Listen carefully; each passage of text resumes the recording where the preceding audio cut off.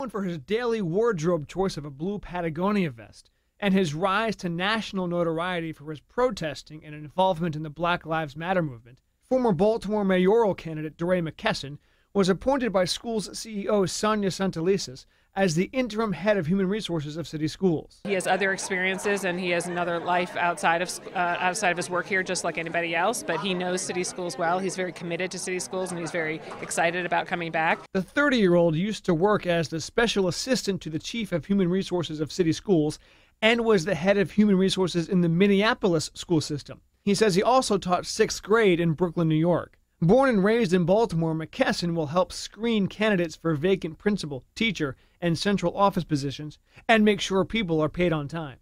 Officials say it is a temporary hire through the fall semester only. He knows our systems really well, um, and he knows what needs to happen in order to get our schools running. And so we just have a lot of faith that he, he will be able to have us have a smooth opening to schools. This department has had some turnover lately. The human capital chief was fired last fall after a software glitch caused 300 teachers and staff to line up at headquarters on the first payday, wondering where their paychecks were.